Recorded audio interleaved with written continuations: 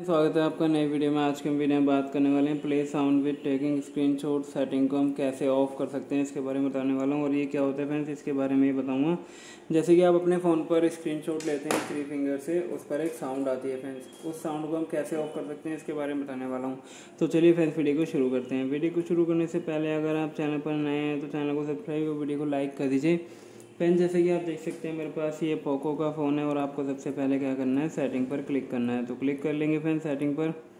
Setting पर click करते ही आपको इस तरीके का आइकन शो करेगा। यहाँ पर आपको क्या करना है, थोड़ा सा ऊपर की साइड स्क्रॉल करना है और साउंड एंड वाइब्रेट वाले ऑप्शन पर क्लिक करना है। क्लिक करते ही आपको इस तरीके का आइकन शो करेगा। यहाँ पर आपको क्या करना होगा, थोड़ा सा ऊपर की साइड स्क्रॉल करना है और एडिशनल सेटिंग पर क्लिक करना है। क्लिक करने के बाद आपको इस तरीके का आइकन शो करेगा। यहाँ पर आपको दिखा रहा है play sound with taking screenshot. तो राइट साइड से हम इसको ऑफ़ कर देंगे और आपका ये ऑफ़ हो जाएगा।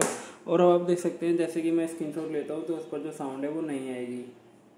ये देखिए फ्रेंड्स स्क्रीन शॉट हो गया है, लेकिन साउंड नहीं आई है। तो उम्मीद है फ्रेंड्स, आपको वीडियो पसंद आएगी। वीडियो पसंद आई तो चैनल को सब्सक्राइब, वीडियो को लाइक कर दीजिए। मिलते हैं नेक्स्ट वीडियो में, तब तक के लिए नमस्कार।